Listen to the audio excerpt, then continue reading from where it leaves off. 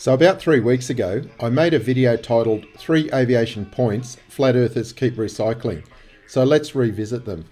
Now what happens sometimes is Flat Earthers will take one of my videos and make a response. And when that happens, I'll generally watch it, have a laugh, and then not really think about it any further. But in this case, my good friend Where's Wally decided to do a very detailed response. And it is one of the funniest I have ever seen him produce. Where's Wally is a great guy. He's not malicious. He has a fabulous sense of humour. We text quite often during the day. And I decided to mirror his video with permission. What I'm going to play now is my genuine response to parts of his video. I'm just watching your video again, and oh my god, it's funny. I think this is the fourth time I've watched it, and the first time, yeah. ADBS, ADSB, it's actually not new as. The first time Banjo says I'm not a smart man, I just lose it every time. This is a real reaction. Wolfie was saying. Wolfie never said it's new. Only the satellite receiver version of it is new. Do you not understand this, Eddie? How are you failing at comprehending? I may not be a smart man. Look at this. If it is ADS, I can't help just reacting like that. It's just hilarious. So I realise everybody has a different sense of humour, and some may find that funny, and some may not. But Banjo, I hope you don't take offence to it. It's all fun and games. You know, I certainly don't take offence to anything you say or any flat earther for that matter. It's just something for me to do when I'm stuck in a hotel away on work trips. But anyway, if you like Where's Wally's video, please give it a like and a subscribe. Go to his channel. I'll put a link in the description below.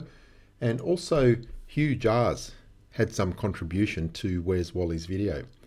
He's up to 987 subscribers. Wouldn't it be great if we could get him over the 1000 tonight? So if you like the contribution Hugh made to Where's Wally's video, please head over to his channel and consider giving him your subscription. I'm sure he would really appreciate it.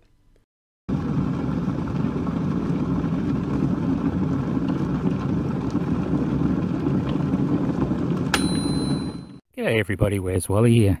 Well, today we're going to have a look at Banjo. Banjo was trying to take on Wolfie. I think he's done one of the best jobs at failing that I've ever seen. And he did it in 48 minutes, which must be some sort of flurf record. Hello guys, uh, greetings from Japan. I hope you're doing fine in these difficult times. Hope you don't have to wear a mask. So let's queue up Eddie and see what he's got.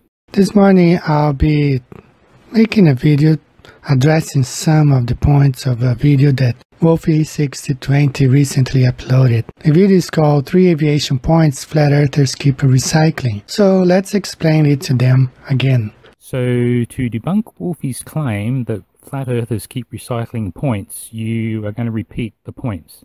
Right. So it's very difficult for me to tell, well, is this guy a liar or is he being naive? Or Eddie, there is another possibility that Wolfie, you know, he's been flying since before he was driving.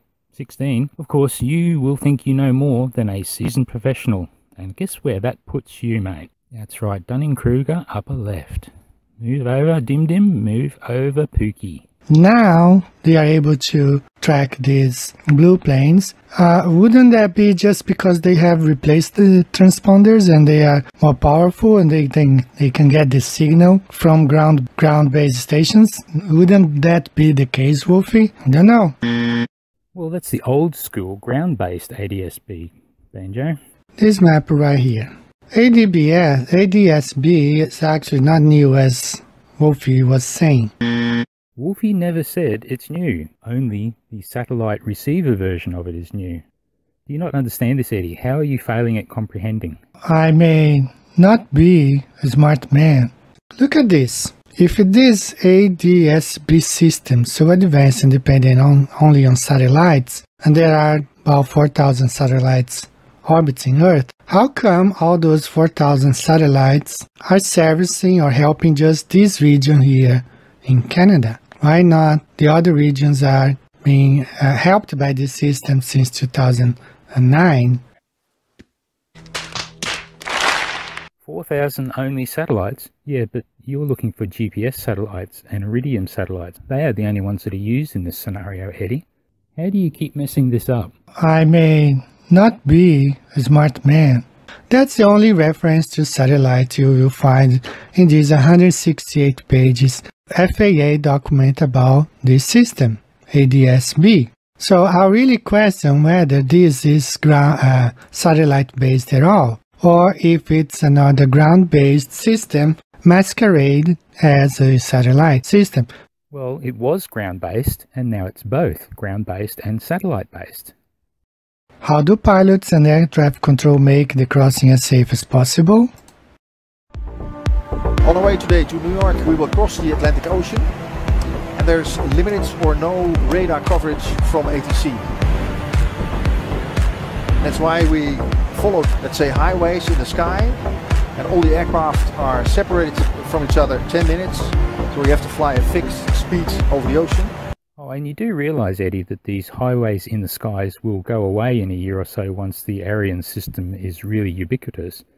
It will allow for the more efficient routing of aircraft, and they're going to move all over the place very much like they do over the land. Just have a look at what they do over Europe and over USA. Now imagine them being able to move freely like that over the oceans, which once the Aireon system is fully implemented, that's exactly what the planes are going to do, and these highway systems will be no longer needed. We departed Sydney and flew to Christchurch, New Zealand, where we refueled and picked up an additional passenger. From there, we flew across the South Pacific, intending to fly to Santiago, but due to fog, we had to divert to Mendoza in Argentina. Let's now talk about his trip to Rio. Okay, he left Sydney towards Christchurch, and I made the arrows here green and yellow, Australian colors and Brazilian colors as well. Now, I don't, he hasn't given this data here. Uh, you saw the pilot uh, from flying from New York to Europe, how he has to enter his you know, the flight number, I think that was already there. And the ATC gave him exactly the green light to go. And he could not leave that route. He cannot without communicating to ATC. So Wolfie has not given us this information. Well, Eddie, one thing you might not know about Wolfie's plane is because it's a um, corporate plane, it actually flies quite a bit higher than commercial traffic, which means they have a lot more freedom to go where they want. So they usually just get a whole level clearance, which means they can just fly anywhere on that level, or two or three levels, because they know there's going to be no commercial planes there, which basically means their flight planning, which they still do do, is a lot more open, shall we say. So I guess you wouldn't know that though, because you don't seem to know a lot about flight planning. I may not be a smart man. Well, Banjo, he says often, how do we know the satellites are up there? Well, because we can see them with a telescope, dear lad. Have a look at this little video by my mate Wolfie. You can actually point your telescope at the satellites and you can see them. Now, of course, these are images from Wolfie, but you don't have to actually trust Wolfie. Why don't you just go to, say, your local astronomy club in your area? There will be one somewhere.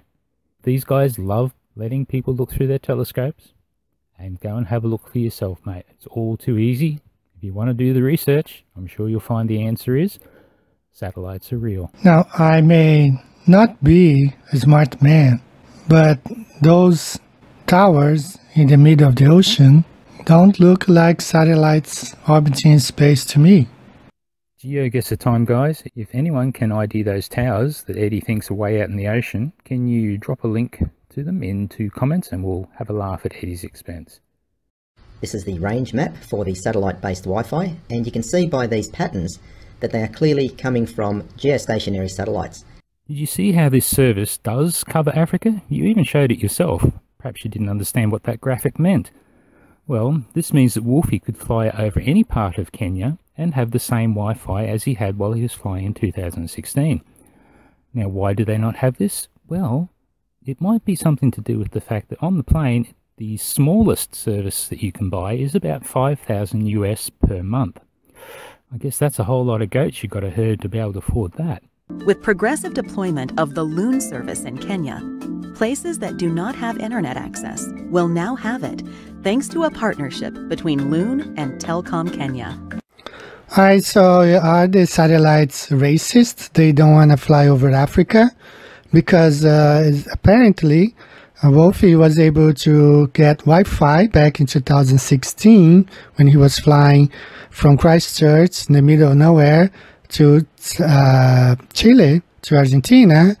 and uh, still uh, 2020 whole part many parts of africa still can't get uh, wi-fi Well, if Wolfie did fly over Kenya, he would have Wi Fi via the satellite, as shown on the coverage map that you showed and didn't comprehend, Eddie. The reason they didn't have this system in Kenya is money. It costs around 5000 per month to have the Wi Fi in the plane. That's not cheap. So, how many times have you got that wrong now, Eddie? coming from christchurch to rio to santiago so if he was able to reach wi-fi signal back in 2016 before the new system had been in place installed that means that back in 2016 ground-based was some ground-based stations was were able to transmit wi-fi signal No, Eddie, it means that the Wi Fi is going via Inmarsat. Now, that's a satellite system that does communications, not ADSB and not GPS. You've got to work out which ones do which. They don't all just interchange. Additionally, in December 2016, I posted this video Flat Earth non stop flight Rio, Brazil to Cape Town, Africa, a GPS log analysis. That was on our return trip from the Rio Olympics back to Australia. a simple app. You download to your phone you, you go to google maps you see your location this guy here you're here in india right? Is in the north of india. Okay so you just go to your play store in the case or itunes or whatever you have. Just download this app fake location app. And guess what? You can actually fake your location. Well, yes, these things can be faked, but you have to show that they are being faked. Why did you not understand that? i may not be a smart man Well, look, I'm giving up. There's getting way too much to deal with. The derp level is getting too high. I don't know if Eddie is just getting himself all confused or his understanding of English is not so good. He keeps thinking that any satellite can do GPS or communications or Wi Fi. Now listen very carefully. I shall say this only once. Well, guess where GPS antennas are located on the plane's fuselage? Eddie, I don't entirely know. correct, on top. Oh, and the ADSB system that sends the plane's position to places like flight radar, flight aware, etc. Those antennas were on the underside of the plane to transmit to ground based receivers. But that system had a limitation. You know, planes would drop off the coverage map at around 400 kilometres out to sea. Why was that? Earth curvature. Ooh, booyah. Now, just look at the Earth curve calculator for a plane that's at 10,000 metres up and has 10,000 metres of hidden at around, yes, you guessed it, 400 kilometres away. How about that? But it gets better. Currently, they are now putting ADSB antennas on top of the planes. This is so the planes can send their data to the Aireon system, and the receivers for those are on the Iridium Next satellites, which are in orbit and these are now providing the live flight tracking data from all across the oceans. See? And what's worse for Eddie, the One More Orbit flight last year, when it flew over the South Pole, was tracked by Aireon system. Ooh, flying over the South Pole and tracked by satellites, double kill. I went to Iran website. I watched a couple of their videos, and I found something uh, not really that I was expecting to find. The eighth and final Iridium Next launch took place. And now we celebrate the completion of a brand new network.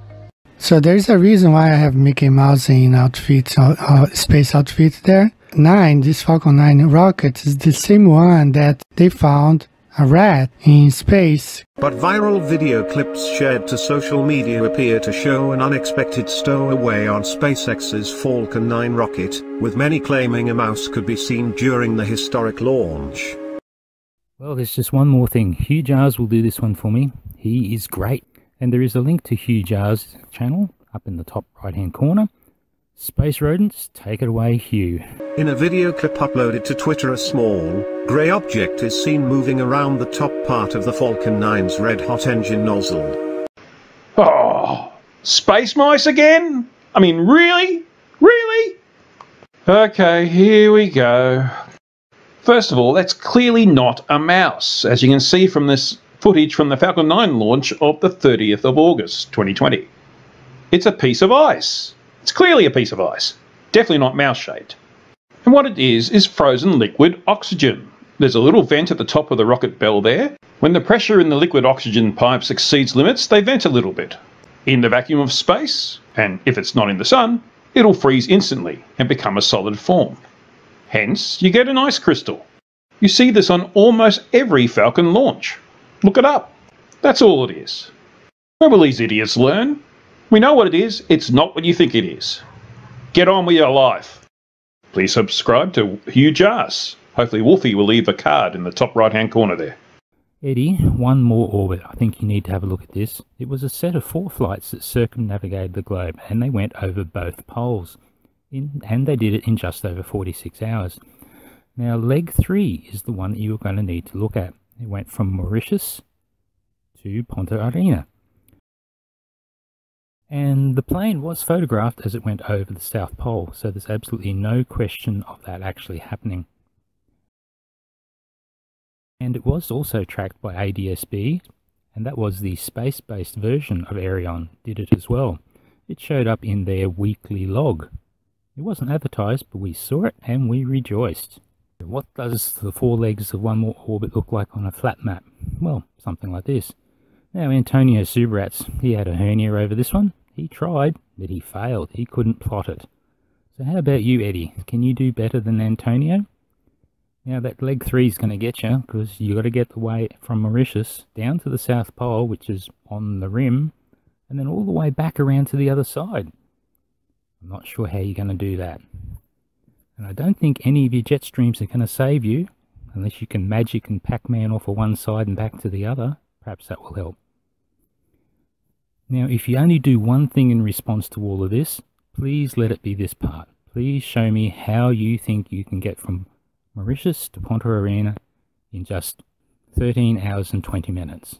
I really love to see you have a go. There are videos showing where it landed in Mauritius and refueled. And uh, here's a few little stills from it. I won't show you the whole thing. I don't have his permission as yet. And here is where they were refueling in Ponta Arena just 13 hours and 20 minutes later. So I'm not sure how you're going to work this out. It's all been verified. We did the research, we watched it happening live. So I'm not sure where you're going to go with this one, Eddie. Oh, and Florence Gamer, one of my excellent subs, she's got this nice little timetable of codes and the flights here as well. So there you go, have a look at that. Well, I think I'm all derped out. So thanks very much, Eddie, for playing. I'm not sure where you're going to go with this, but mate, please, please, please, please plot this uh, one more orbit on your flat pizza world and let's just see what you can do with it. I'm not sure how you're going to make this one line up. Because one more orbit, leg 3, demonstrably shows you there is no way the Earth can be flat, it simply has to be a globe.